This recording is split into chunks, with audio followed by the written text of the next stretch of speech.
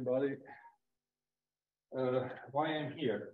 Well, because I knew Roberto as a student, but then I met it again when he was presenting software heritage at the Scuola Normale of Pisa, and I have the picture here because it makes a nice link with with uh, with uh, Paris. And then he, at that seminar, he sorry, come closer. Please. Okay, uh, and that at that seminar, I was involved in in software heritage and also in the development of SWHAP. But what I'm going to do tonight is to talk as a user, and I had two experience in using SWHAP.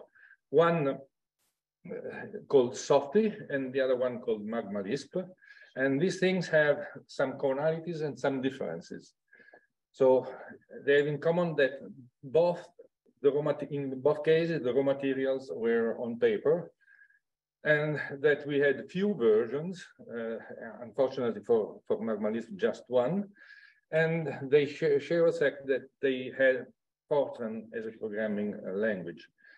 The difference is, is that uh, Softy is very small, less than 100 LOCs. I forgot LOCs there, the line of code. While for uh, Magma Lisp, we, I recovered uh, two, about 2,000 LOCs out of the 10,000 LOCs of, of, the whole system. And I'll tell you why uh, later. Uh, they differ in, in homogeneity because uh, Softy has, beside Fortran, also other languages, and talking about that. The complementary materials, again, Softy was recovered from the, the uh, deposit of the uh, Museum of Computing Machinery in, uh, in Pisa, and there was essentially only, only the, the, the code, while for the other, for the other, for the other system, we had a lot of, of complementary ma materials. And they also differ in my personal experience because essentially Softy was the third case study that we Uh, worked out together. And instead, Magma Lisp, I was almost alone. The, the, other members of the team were not, not so available. Okay. So what is Softy is essentially an exercise in using the CEP. The CEP is this old computer that was developed in Pisa, and I think that Pierre saw it when he was in Pisa last time. And so the documents that uh, uh, I worked on are essentially they were printed on the teletype that you, you see there in, in, in, in, in the corner. And they told you they are stored in the Computing Machinery Museum in, in, in Pisa. It was also an exercise in numerical analysis, a very small exercise, smoothing of a curve, uh, and was done by Tonina Starita in, in her first attempt to use the, the, the. Uh, and you can see there the, the sort, of, sort of listing that I had to work on. And it has three programming languages, as I told you, Fortran CEP, which is a, a version of Fortran 2, which was developed for the CEP at the time, in, in, in again in-house. Then it has also the two listings in the assembly language, and plus the few lines of the common language that allow the execution of the of the of the, of, of the software. Uh, I have four versions. I recovered the four version of, of the of the Fortran code, and I don't know if you can well better there than than so. These are actually what I classified as two different versions. the the listing and the correction that were put, and I assume that they were on, because the fourth version, which in, includes the, the, the correction, is not really completely identical. So this is some sort of uh, arbitrariness from my side. They decided that those there were versions. Uh, and since there were 100 lines, I just typed in, I didn't care, care to try to share them. Machine learning, Magma Lisp instead is a longer story. And it was developed in, in the early 70, 70s as a machine language for uh, AI. The idea was that the problem, the AI problem at the time were search in a tree of alternatives in search of a solution. And, and so uh, the Lisp was used to, to run, to write the, the programs that did, did the, the search, but to uh, allow more efficient and general search algorithms, we, we, I, I must, I, I am one of the authors of the thing. and, and so uh, we, we sort of generalized Lisp. Uh, well, for those who know something, essentially apply has two arguments, the function and the args. And we, what we did is say you can set, define, define the environment in which you evaluated the arguments, where to return the value, and the state to use for the evaluation. So that gives you a very free, large amount of freedom in, in, in defining things. Uh, what has been saved? Well, as they said, out of 10,000 lines, uh, 2,300 uh, implementing the new control features and uh, 7, 70, uh, 700 uh, lines implementing the garbage collector. There is a, a sort of commonality with the, the, the first thing. Uh, as you can see, that's my primitive workshop for digitizing the code. There I had to go and digitize. I couldn't type things thing in there. And, and uh, uh, so uh, I had to limit uh, the things.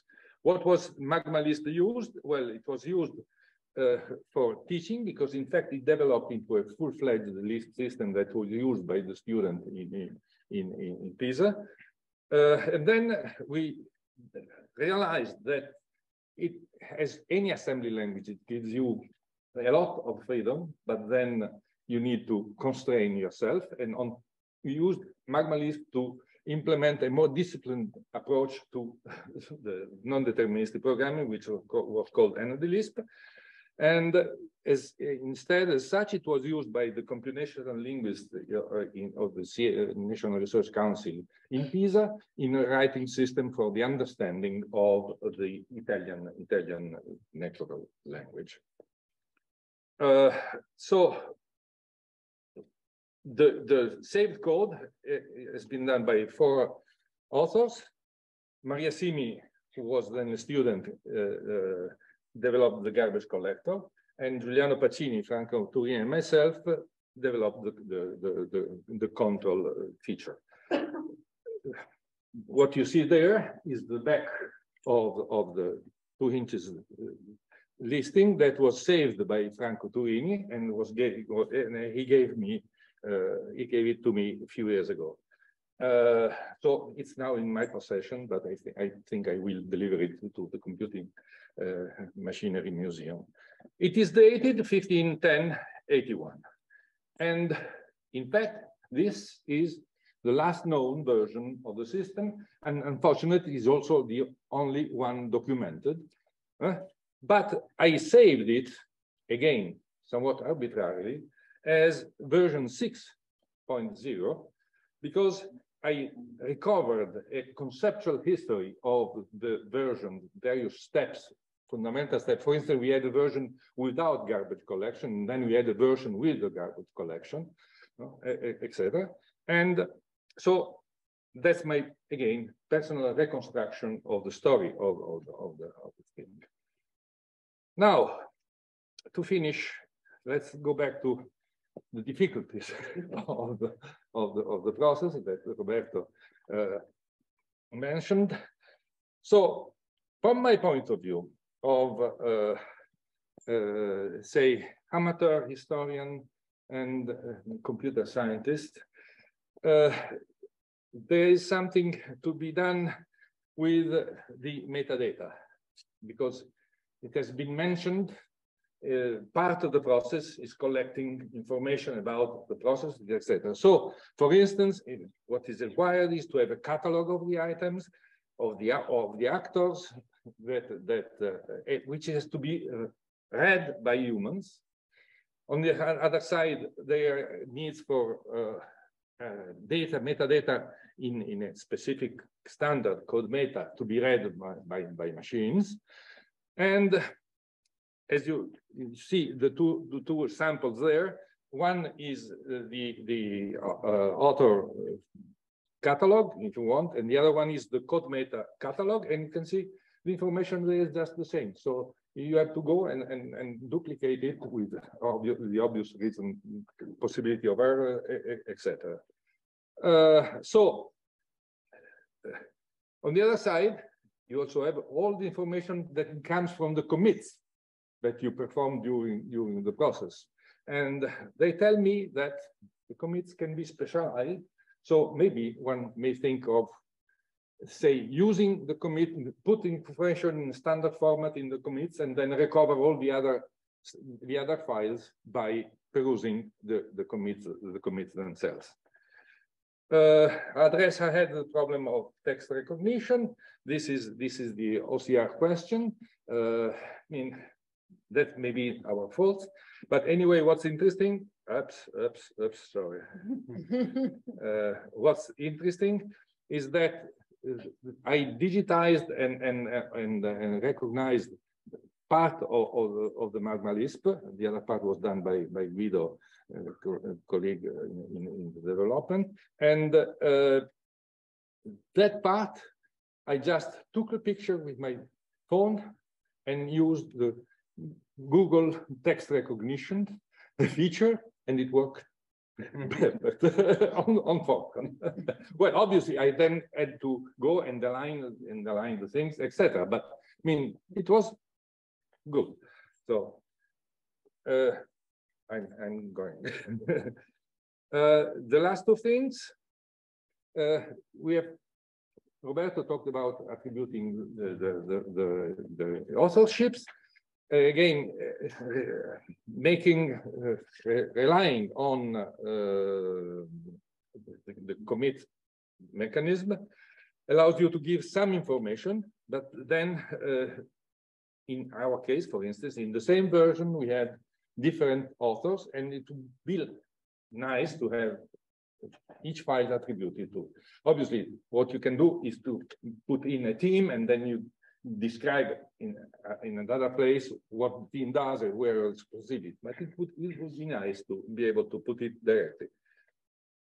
Uh, finally, the abstraction level. Well, the process as it is described now it's for people who has some good experience in in uh, uh, Git, uh, common languages, etc., etc. It might be worthwhile to do as we did from Magon to Lisp, try to have a representation with at a higher level of abstraction. Okay, thank you.